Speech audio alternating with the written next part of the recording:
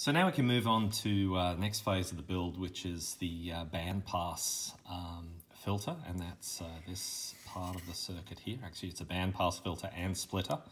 Uh, the function of this, obviously, is to uh, perform the bandpass functionality, as well as to split the incoming signal into in-phase and anti-phase signals for uh, ingestion into the FST3253. Um, so the uh, uh, bandpass filter itself consists of a couple of caps, uh, an air variable cap, and then we have uh, this transformer here, which is constructed of a, um, let me get the bag out.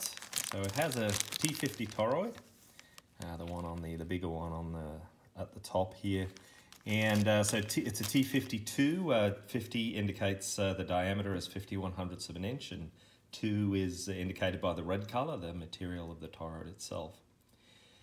The, the uh, transformer consists of uh, a single primary and three secondaries. So the single primary for 20 meters is three turns. Then we have two other secondaries that are both three turns each. And then finally a third secondary, which is 30 turns. And you can see from the uh, table here, uh, uh, this, the turns ratio varies depending on uh, on what band you're on. So there's a special uh, technique that's uh, outlined in the um, in the uh, manual, which which I'll go through later on. But basically, um, instead of winding all these turns separately, you wind a single turn. So you go 30 tur turns around, and then you form a loop out here. Come back, do another three turns, form another loop out here. Come back, another three turns, form a loop, and then you're back here uh, with another three turns.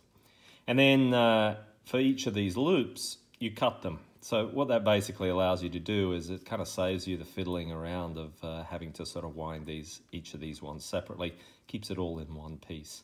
Um, and I'll walk through that later on. So on, as far as where it goes on the board, let's just uh, pan over to the to the board itself here. Excuse me for a moment while I get this uh, get this ready. So this is where the uh, transformer goes here. Uh, this is the primary winding right here. And then these are the two three-turn secondaries here and here. And then finally, this is the 30-turn secondary that goes here and here. Now, rounding out the uh, um, band pass filter, there is the variable cap here.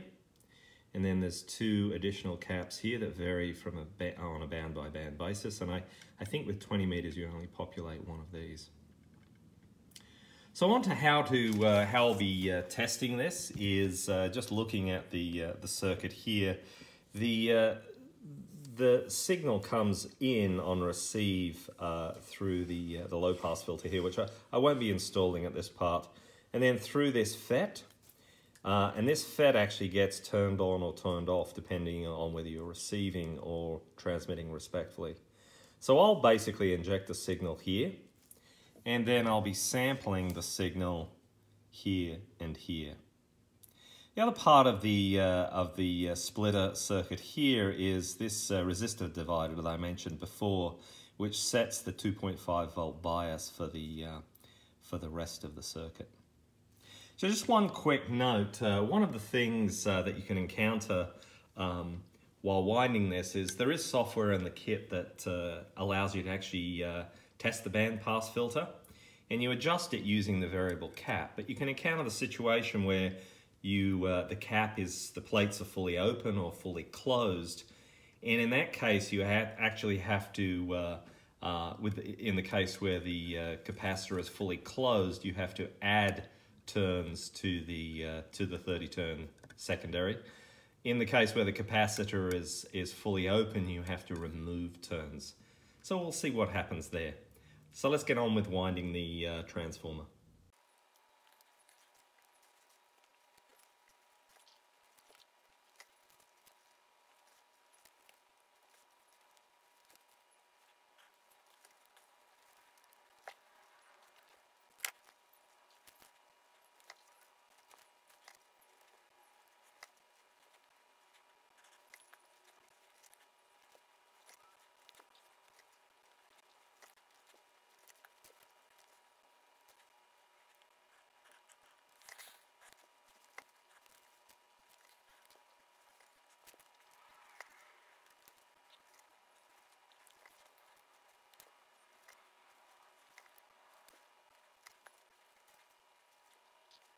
So there's the uh, first 30 turns wound there. Um, you want to keep uh, the ideally the 30 turns. Let me stop that from vibrating.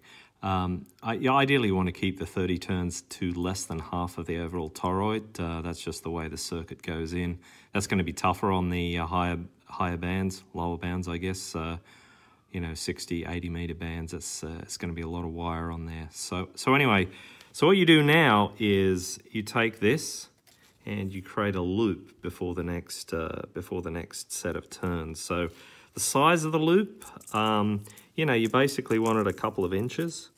Um, so yeah, something like uh, maybe like this, say, that gives you enough room. Gives you enough room. Let's separate that out there so that you can create the wires off it. And then what I do is just give it a twist so that it doesn't become unwound. Bear with. And then obviously the next one is uh, three turns and then another loop and then three turns and then another loop. So uh, let me get on with that.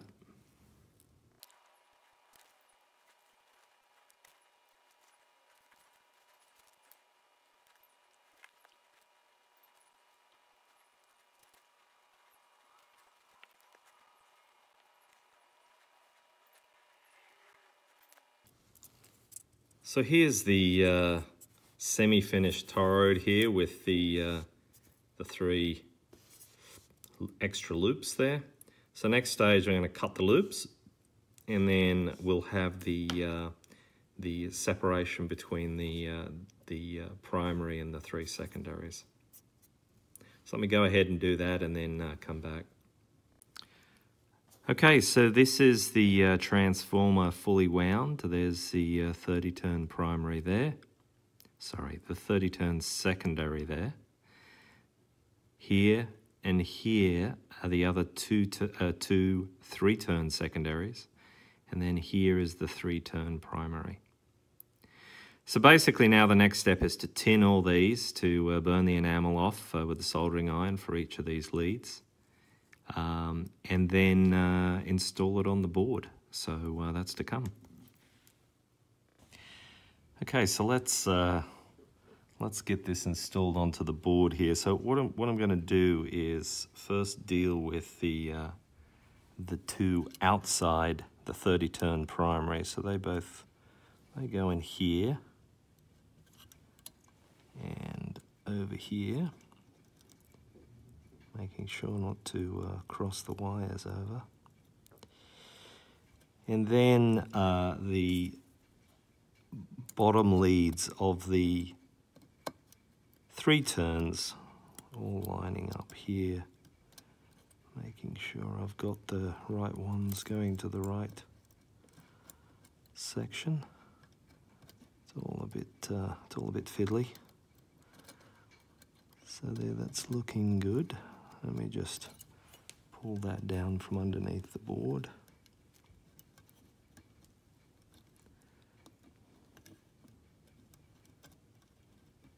There we go.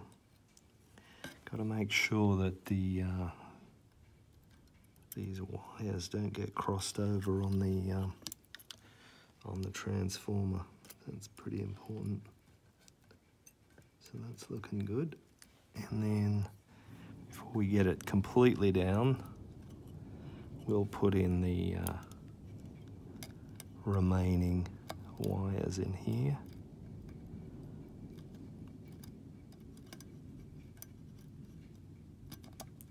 Once it uh, once it gets in, it'll all tighten up uh, quite nicely. As long as I don't cross these over, that is.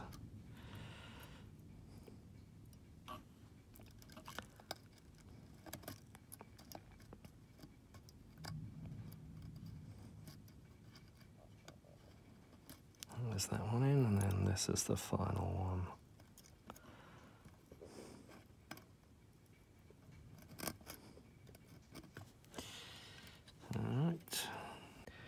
Okay, so the uh, the toroid's all in. It's not uh, it's not soldered yet, but um, let me just turn it around so we can get a better view there. and spin this around so you can see there's the uh, primary there, two secondaries here and here, and then the, the 30 turn primary. Now, what you 30 turn secondary, I keep calling the primary, I don't know why I keep doing that. But anyway, um, so I'll solder all these up and then I'm gonna have to test uh, continuity to make sure that um, the, uh, you know, that everything is okay. So what I'll do is I'll solder this on, come back, and then we can test some continuity. So that's soldered in. Um, now just checking continuity and um, so there should be continuity obviously between these two ends of the uh, of the 30 turn secondary. So let me check that. All right. So there also should be continuity between the 30 turn second secondary and the primary here. So we should, if we check here, let's just tap here and here. All right, so we've got continuity there. There should be no continuity between this primary and either of these two secondaries. So no continuity there. Trying on the other side. Oops. Continuity there, I must have touched something else. And then finally, there should be continuity between these two sets of secondaries. So from here, across to here, yes, across to here, across to here. So that's the continuity check for that, and uh, we can move on to uh, installing the uh, cap and um, the caps and the, uh, the variable cap. Well, it's uh, it's freezing in Texas this morning. Um, I thought I'd uh, so I thought I'd finish up this uh, uh this uh, bandpass filter and splitter combination and uh, show the results on the oscilloscope. So, just to describe the test setup here, this is where I'm injecting the signal, and that is representative of this portion on the circuit right here. So right at the source of this Q5 BS170 that's where I'm injecting the signal. I'm actually, I've actually uh, soldered a couple of resistor leads to the bottom um, of the circuit board um, where I'm at, where I'm probing it. And uh, just to show you where that is on the schematic, it's right here and right here. So I'm injecting uh, a signal from my uh, signal generator here, 14.05 uh, at, uh, at half a volt. And then the result of, uh, of probing at those two points that I mentioned is this uh, trace right here. So you can see I've got a uh, signal in phase and a signal exactly 180 degrees out of phase.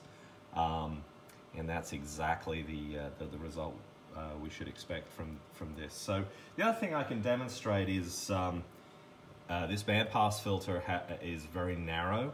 Um, and so let me adjust it. So I'm just adjusting the, uh, the, the, variable cap. Actually, it turns out that uh, in the 20 meter kit, you uh, don't install either C5 or C8. So, but just let me show the result of tuning the uh, bandpass filter. So tune down a little bit. So you can see it has a very tight, uh, very tight uh, bandpass filter. I'm barely touching the air variable cap. So the, the good thing is that the uh, the cap itself is neither fully closed nor fully open. So uh, I don't have to add or remove turns from the inductor which is a great thing. Uh, particularly adding turns to the inductor is uh, is quite a pain in the butt. So uh, so anyway that's the band pass filter completed. Um, for the next uh, set of videos um, as I mentioned I'm gonna put in the microcontroller hook up the power to the SI5351 um, and then um, we should be able to see that signal coming through uh, the quadra quadrature sampling detector, the Tayloe detector. So just uh, sort of moving down on the circuit a little bit. So once I have the microcontroller and the synthesizer in uh, and these resistors in, I should be able to probe around here, injecting a signal as I'm doing here. And we should see the I and the Q products right here.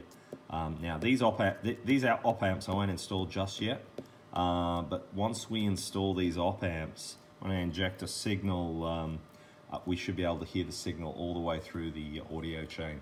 Uh, and that would be the kind of the receiver complete end to end, except for, you know, there's obviously a few things we have to do. There's the low pass filter has to be installed. There's some receive transmit circuitry that has to be turned on. But uh, that's it for now. Um, next is the uh, microcontroller.